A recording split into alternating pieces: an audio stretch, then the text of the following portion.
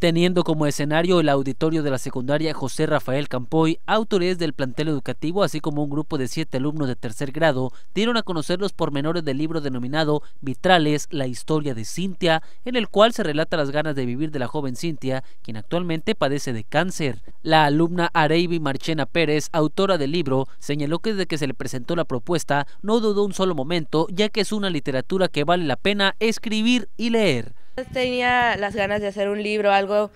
así que tuviera que ver con la literatura, ya era un sueño mío que tenía.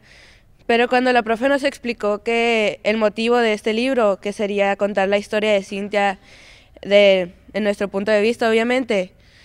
no sé, me emocionó más, pensé que sería algo que valdría la pena escribir y leer. Por su parte, Juan Carlos López, quien también forma parte del grupo de autores, señaló que la historia de Cintia es algo que tiene que contarse ya que en este libro se conocerá a fondo las ganas de vivir de esta jovencita y sobre todo el esfuerzo que le dedica al estudio. Nos explica sobre cómo debemos aprovechar todas las oportunidades que tenemos, nosotros que tenemos salud, los que tenemos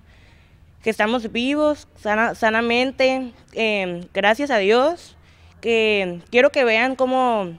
Cintia Em, siempre está pensando en vivir. Ella más que nada lo que quiere es estudiar y quiero que ese mensaje quede grabado en todos los jóvenes, que no vengan solo a la escuela a jugar, que vengan a aprender y a estudiar y que sean como Cintia, la verdad. El libro Vitrales, la historia de Cintia, se presentará de manera oficial el próximo viernes en el mismo auditorio del plantel educativo. De igual forma, dieron a conocer que este libro tendrá un costo de recuperación y todo lo recaudado será en apoyo a la familia de la alumna. Con imágenes y edición de Cristian Bazáñez, informó para las noticias Pablo Santini.